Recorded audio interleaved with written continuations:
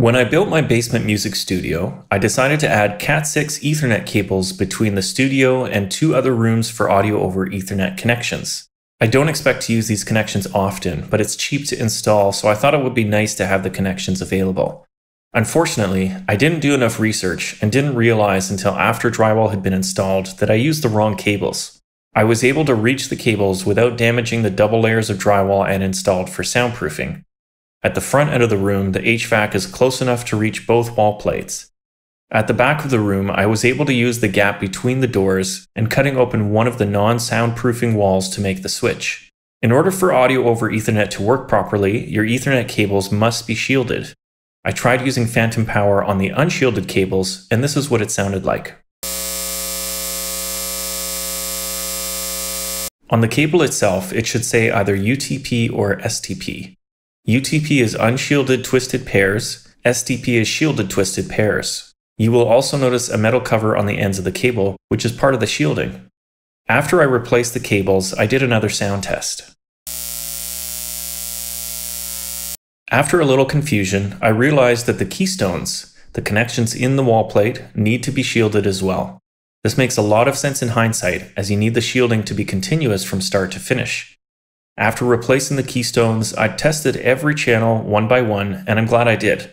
I discovered a faulty keystone that was still noisy, even with the proper shielding. Cat 61, AT2020 on mic 1.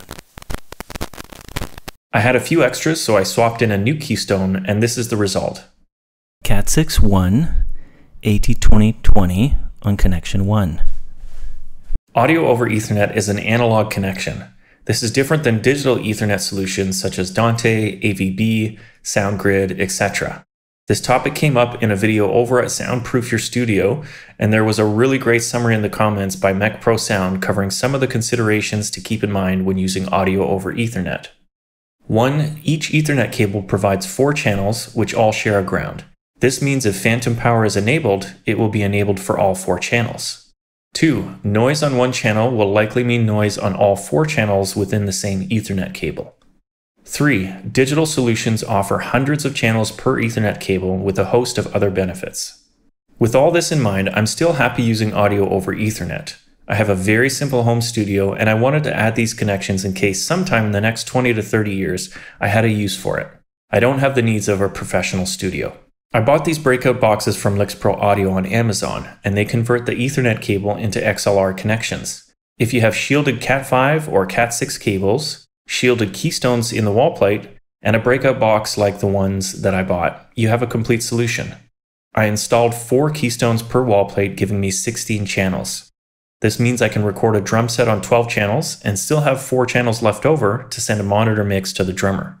Any combination of mics and headphone mixes will work, keeping in mind that you're limited to four channels at a time when choosing which direction the cable should go. Any of the breakout boxes I've seen have either all male or all female connections per box. I hope this is helpful for any of you building your own home studio. If there's any questions you have, drop them below. Please hit like and subscribe as this will help me share my journey with more fellow home studio builders.